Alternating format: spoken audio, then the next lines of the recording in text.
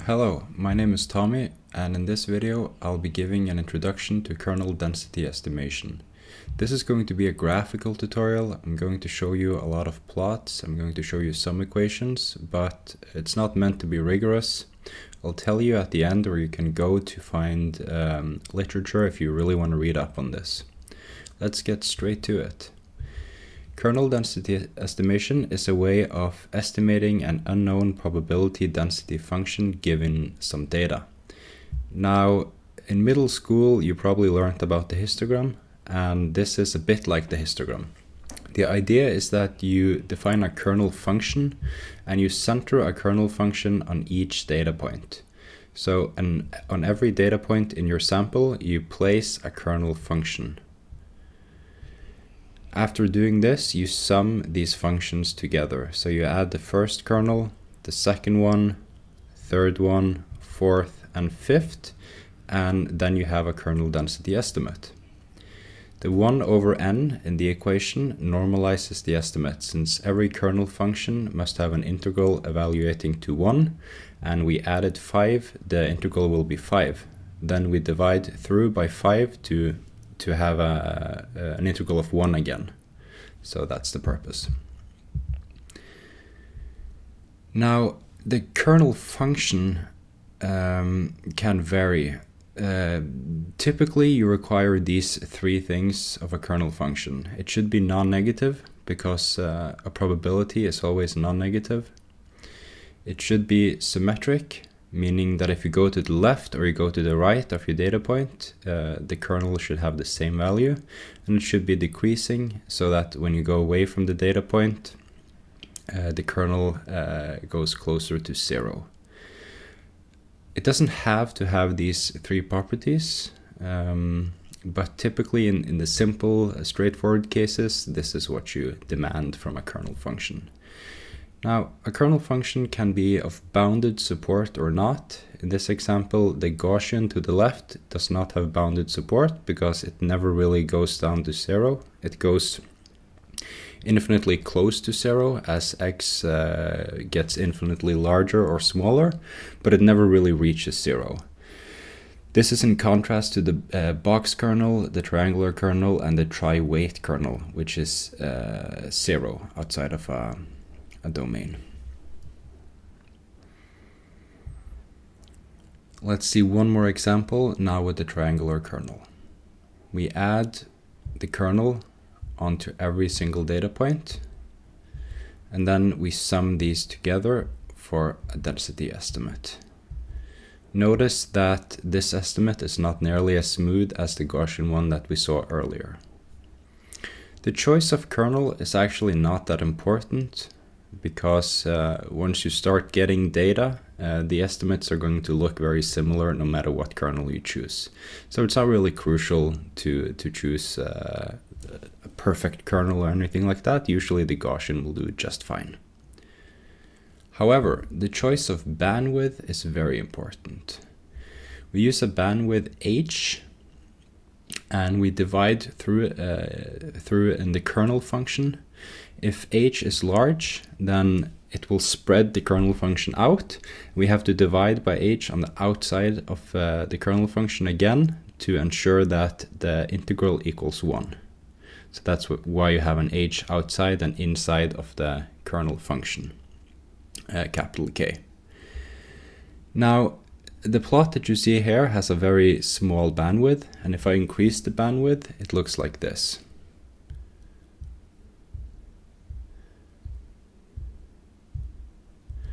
So it's not really clear what the optimal value is.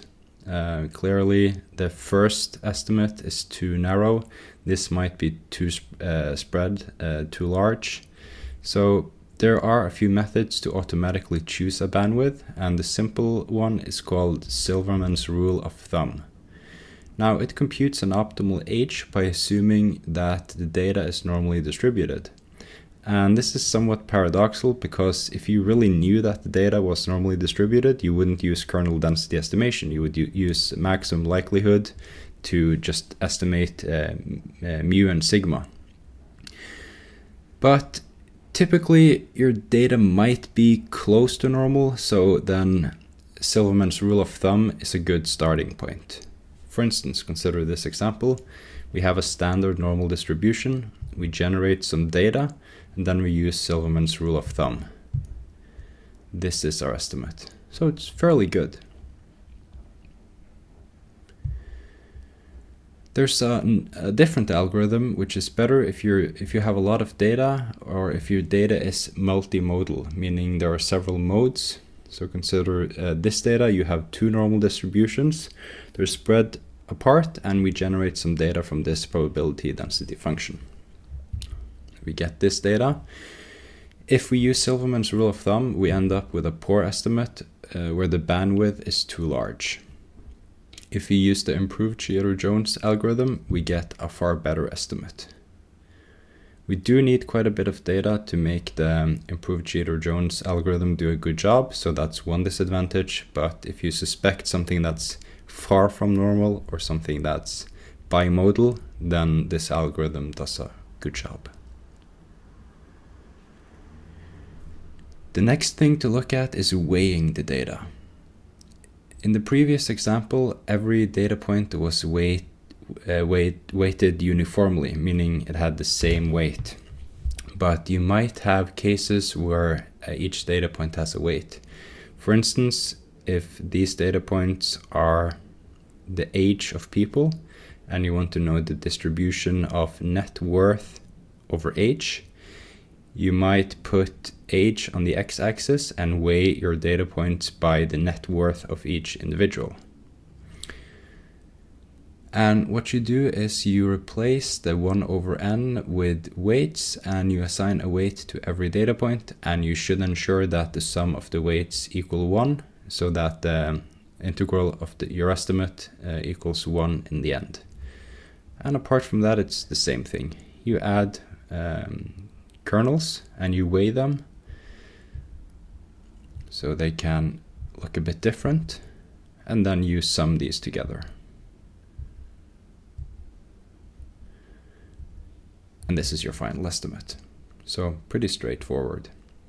There's one more thing that I want to discuss in one dimension, and that's bounded domains. It happens quite often that you know that you're working on a bounded domain. For instance, if your data is the age of people or the net worth of individuals, then you know that uh, your density uh, is is uh, zero when, when x is, is smaller than uh, zero.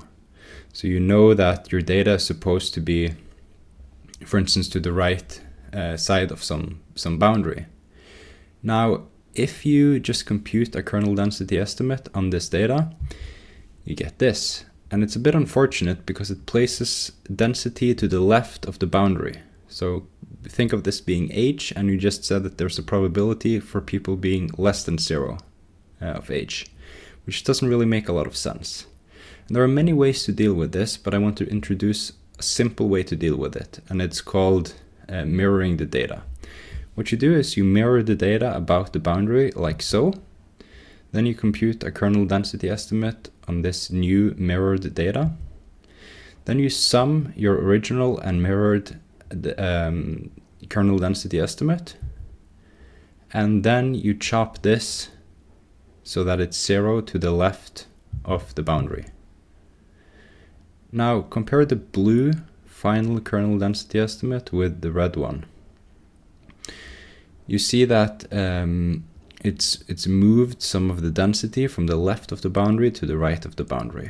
So this is a simple trick to ensure um, to ensure that uh, you don't get this bias at the boundary if you have bounded domains. Let's go to d dimensions, or more specifically, let's go to two dimensions.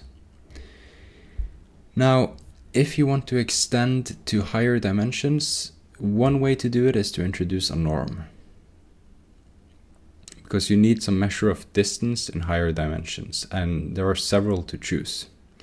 So you're gonna choose a p norm, for instance, and you're gonna replace the 1 over h with 1 over h to the power of d to normalize. And apart from that, it's the same thing. So here you see four kernels in two dimensions. The box kernel, the triangular kernel, the biweight kernel, and the Gaussian kernel. The choice of norm really matters in higher dimensions because you're allowed to pick a norm and it's not obvious in every case which norm is the correct one. Typically, p equals 2 in the p norm, which corresponds to uh, standard Euclidean distance, is a good choice because it's invariant under rotation, but there are other choices as well. The common choices are p equals 1, p equals 2, and p equals infinity.